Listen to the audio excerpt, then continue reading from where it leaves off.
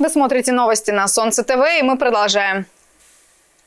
Текущая неделя для сотрудников поисково-спасательного отряда имени Полякова будет наполнена тренировками и учениями. Работу подразделения проверяет межведомственная комиссия. От ее решения будет зависеть дальнейшая работа сахалинских спасателей. За пять дней специалисты проверят все аспекты готовности. О том, как проходит аттестация, расскажет Дмитрий Петров.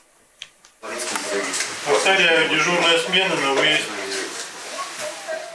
под звуки сирены внедорожник спасателей въезжает на учебную площадку. Там, по легенде учений, после серьезного ДТП в машине оказались зажаты два человека. Пока команда готовит оборудование, руководитель делает осмотр и успокаивает пострадавших. Как вас зовут?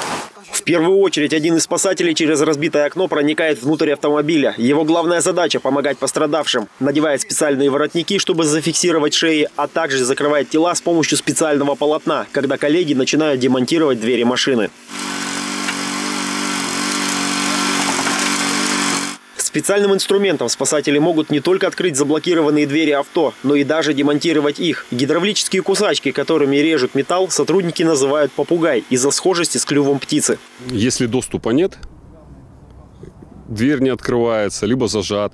Надо его освободить и безопасно вынести, чтобы также не нанести еще вред больший. Следующая тренировка сотрудников поисково-спасательного отряда имени Полякова носит техногенный характер. По легенде учений, в районе села Соловьевка произошло землетрясение. По словам очевидцев, были слышны крики пострадавших. Первыми на разведку идут сотрудники с дозиметрами. По прибытию была проведена разведка по замеру радиационного фона. При помощи данного прибора мы проводим разведки, определяем э, предельно допустимую концентрацию для того, чтобы можно было в дальнейшем ходу личного состава выполнить работу. Поиск пострадавших ведут по секторам сразу несколькими группами спасателей. Осмотр территории с помощью собаки – неотъемлемая часть работы. Четвероногие поисковики надрессированы на дыхание человека, поэтому к месту, где работает пес, сами спасатели не подходят до тех пор, пока не прозвучит сигнал. Она бегает, ищет, как бы предупреждает голосом. Нашла человека, а, и показала голосом, осталась на этой точке, что там человек. Не всегда кинолог заходит, потому что может быть какие-то опасные моменты. То есть собака находит, проходит, э, и человек уже дальше идет. Так в реальности.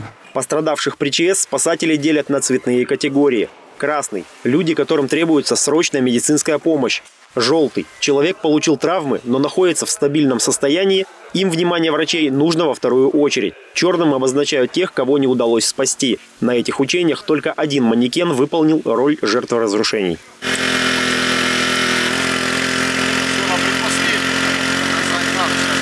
В учениях 22 ноября были задействованы более 20 сотрудников поисково-спасательного отряда имени Полякова и 7 единиц техники. Эти тренировки – часть аттестации всех работников, которую организуют один раз в три года. Ее результат – свидетельство на право проведения аварийно-спасательных работ. Решение о его выдаче принимает межведомственная комиссия, которая оценивает физическую, профессиональную, медицинскую подготовку сотрудников и подразделения в целом. В первую очередь это техника безопасности, как э, пострадавших, которым оказывают помощь, так и спасателей, которые оказывают помощь. Это умение работать с инструментом, а, оборудованием, снаряжением, которое входит в состав э, и находится на вооружении поисково-спасательного отряда. Свое решение семь сотрудников межведомственной комиссии озвучат в конце этой недели. Дмитрий Петров, Александр Тютюнников, Дмитрий Прокошкин, Солнце ТВ.